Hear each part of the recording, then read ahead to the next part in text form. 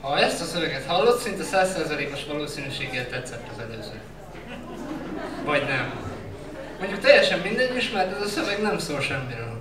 De tényleg? Mert van az úgy, hogy nincs sehogy.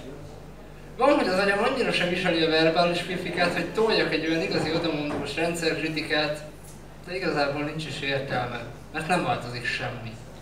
Nem emlékszel a szavaimra, nem hogy évekig, de egy hétig se, szóval most cseréljem a belső békém egy három perces hate speechre. Köszönöm, nem.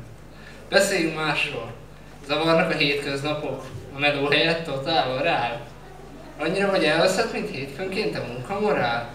A faszfej főnöködnek a csillagokat lehozhatod? Nekem nincsenek anyagi gondjaim, de ha neked van, hát gyere fel, azt megoszthat. Ó, ne már! Kidobott a barátnőd? Pedig ti voltatok az állampár. A régi érzésekből már már csak por és hamu lett, pedig tényleg te voltál Rómeó, a, kedves, a kedvesed meg kapu lett, hát ez meg most kapufa. Csak búsulj nyugodtan, sírd ki magad, nem ciki.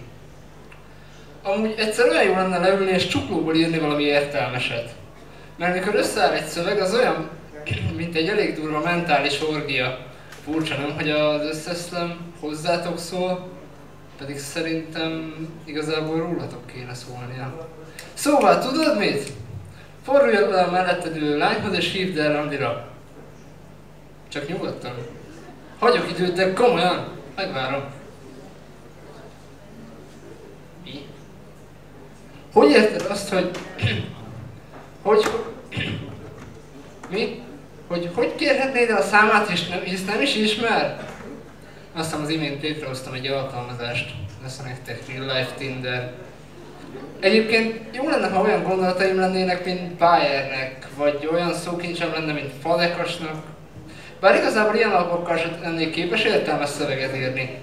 De legalább flowba hóna jó. És tudom, hogy nem vagyok normális, azért remélem picit szórakoztató.